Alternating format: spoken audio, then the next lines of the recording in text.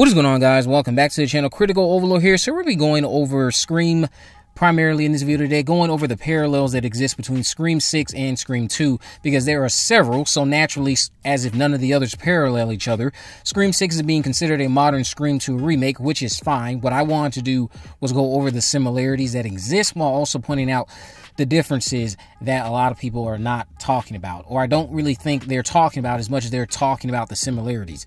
So, Starting off with the similarities, number one, the most talked about similarity is the vengeful parent angle. Mrs. Loomis back in 1997 was terrorizing Sidney to get back at the woman who killed her son, Billy, who we know in the original film was one of our first Ghostface killers. Scream 6 is offering us a character named Wayne Bailey, who is terrorizing Sam because she killed Richie, Wayne's son, who was the killer in Scream 5. Both parents also seem to feel some type of regret for their roles in raising their kids because perhaps one, if Nancy didn't walk out, Billy probably would still be alive potentially.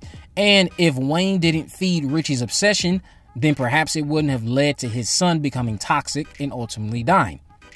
The second similarity is Sam now dealing with unwanted exposure and her because of her ties to Billy, a conspiracy theory in Gale's new book, similar to how Sidney was receiving unwanted exposure and having to deal with that.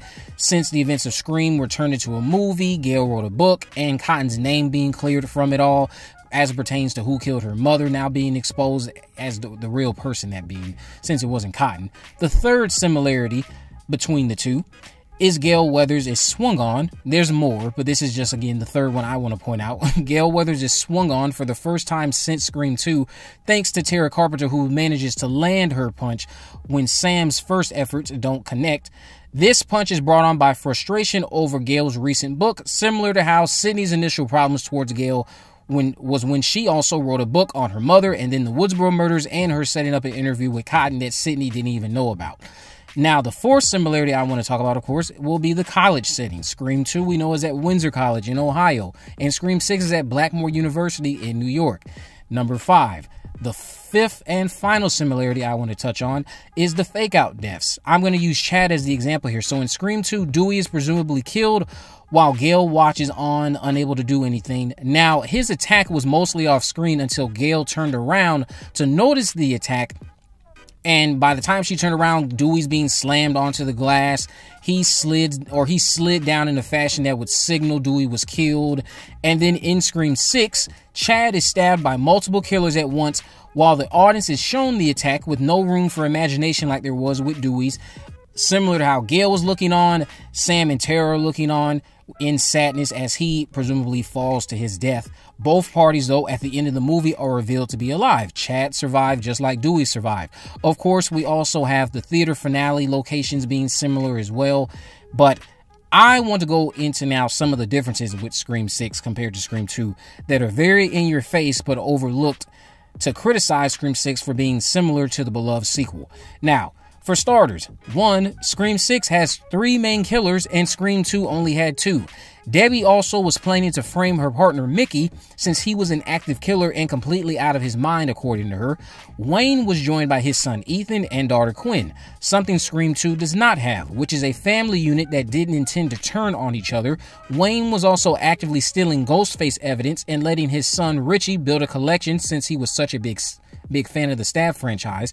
Wayne is a lot more hands on in his child's demise as opposed to Debbie, who simply just walked away from her family. Wayne also had a job on the line as a public servant since he was in the NYPD and an actual real cop, so that definitely is an underlying motivation for him. That's just one difference. Second, ties into conspiracy theories. Debbie didn't intend to assassinate Sidney's character the way our three main killers try to or intend to assassinate Sam's character in Scream 6. Debbie knew exactly what was going on. She knew Sidney was acting in self defense when she killed Billy, just like Wayne knew that Sam was acting in self defense. However, Debbie, Debbie simply cared to kill Sidney and make it look as if Mickey had acted all on his own when it comes to these things. Wayne and his kids go out of their way to upgrade their revenge plans by acknowledging the current trends of cancel culture, misinformation, and conspiracy theories by starting a nasty rumor about Sam that says that she killed everyone in Scream 5 and of course that Amber and Richie were innocent. The finish line for them was going to be having having framed some type of vigilante who they say took matters into their own deluded hands because they believed the rumors about Sam. So that's one of the second differences. The third difference is unmasking a killer during the opening sequence. Scream 6 did the unthinkable and had a copycat killer unmasked during the opening of Scream 6, who would then be killed by our main group of killers. Now, Jason ends up catfishing his Blackmore professor Laura into a date only to lure her into an alley to kill her. Jason unmasks himself and he goes back home. Jason and his partner Greg are disposed of by Wayne because their goals interfered with the Bailey's plans to tarnish Sam's reputation. They were more interested in continuing Richie's Richie's film. Now, the fourth thing I want to go over is Gale's new book. Gale's new book doesn't seem to come from a place of self approval, but rather a tough decision to make in this movie. Scream 2 Gale comes off as writing that book to further validate her own claims, which is fine, but a lot of it is definitely tied into rubbing it in Sidney's face once more that she was wrong about Cotton Weary. Scream 6 does not abolish that empathy that we've seen unlocked inside of Gale. Gale apparently struggled to make a deal related to selling the stab rights, I believe is what was stated, and decided to write a book about Scream 5 instead to make up for that because she needs to make money. Essentially, just doing it for money and because someone was going to write about it anyway, in her own words, which she is not wrong about. There's nothing she was trying to prove against Sam with this book, and this is highlighted by their heartfelt moments at the shrine and Gale's frustration with them being mad at her. She never wanted to like seek any type of self approval from this the way I can clearly see she was doing in Scream 2.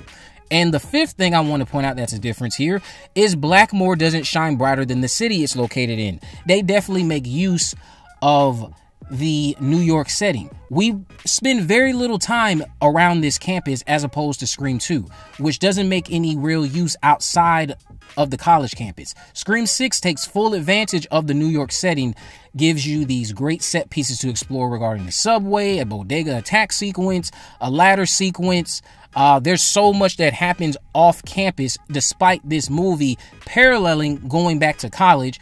It's not entirely set on the Blackmore University campus. I've even seen some people argue they would like to see Scream 7 dive into the campus of Blackmore if we are still going to be in college for these characters, which I doubt. But those are some of the similarities and some of the differences that exist between Scream 6 and Scream 2. Let me know what you think about these down in the comment section below. And again, I know there are more. These aren't all of them. if you haven't already, of course, make sure you subscribe, turn on post notification that you never miss a video. In the description, I will have links to all my social media accounts. I'm on Facebook, Twitter, and Instagram. You can message me there, of course, to let me know any movies, news, or reviews you'd like me to cover in the future. And with all that in mind, guys, I will see you in the next video.